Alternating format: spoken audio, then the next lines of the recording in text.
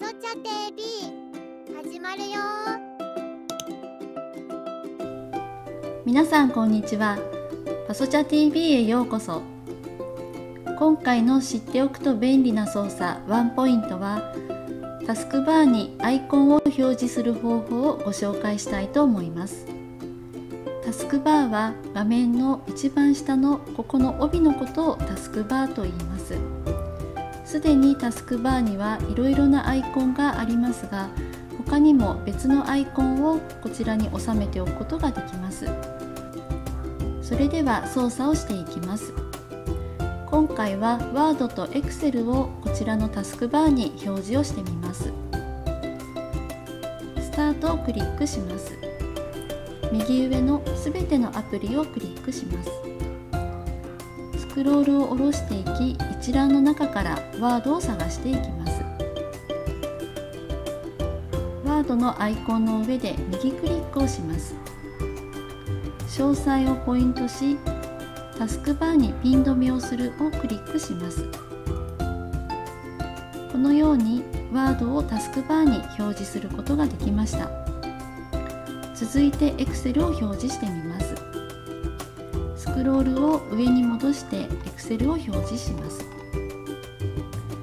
Excel のアイコンの上で右クリックをし詳細をポイントタスクバーにピン止めをするをクリックします。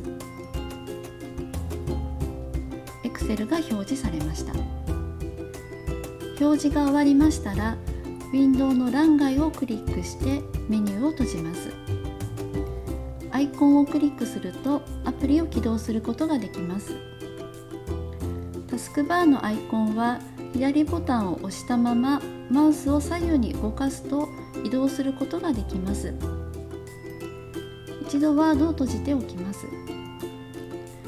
このように使いやすいようにアイコンの位置を変えたり使用しなくなった場合はアイコンの上で右クリックをしてタスクバーからピン止めを外すをクリックするとアイコンを消すことができます。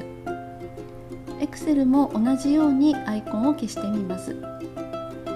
Excel のアイコンの上で右クリックをしタスクバーからピン止めを外すをクリックします。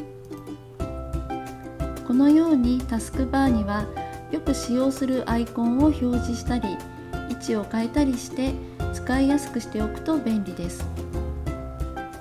皆さんいかがでしたか？